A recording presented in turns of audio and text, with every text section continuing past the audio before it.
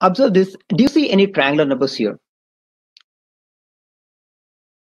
In this can. triangle. Okay. Wh- So exactly? uh, the the the third row, uh, the last hexagon in the third row one, and then the Okay. third hexagon in the fourth row three, and then the third hexagon in the fifth row uh, six, and then 10, 15, 21 like Awesome. Awesome. Perfect. Look at the numbers in the slanted line. It's all triangular numbers. Is there any other place we see the same sequence?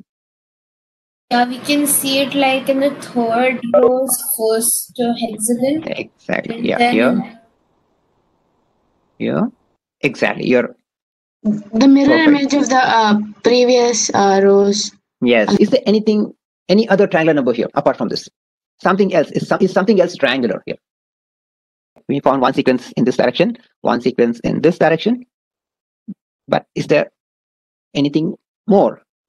Any other triangular number? It's I not a series. when I think when we go like uh, the second row for second triangle and then uh, the, the yes and in the Mhm. third row the second hexagon Okay, like this this one. we go like that one two three four five six seven and okay. then This line, we found natural numbers like 1, 2, 3, 4, 5, 6, 7.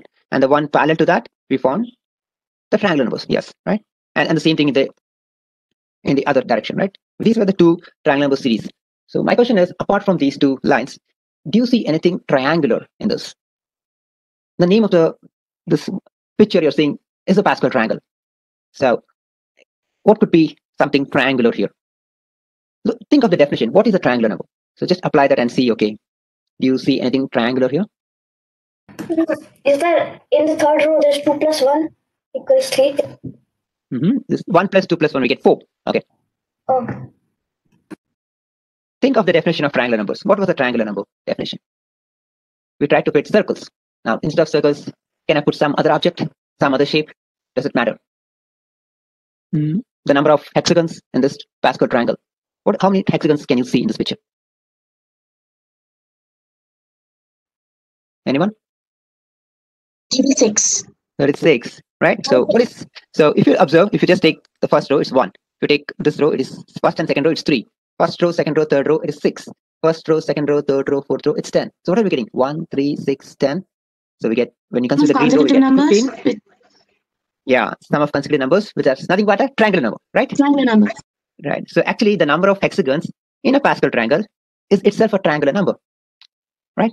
So now anything that looks triangular in shape, so now we know there is a triangular number somewhere hidden beneath, right? So it could be a circle when we learned about triangular numbers, and here it's hexagons, right? So the number of hexagons in a Pascal triangle here, in this case, right, is always a triangular number. You add the next row, right? When you add the next row, you will be adding nine hexagons. So you'll get 36 plus 9, which is 45, which is the next triangular number.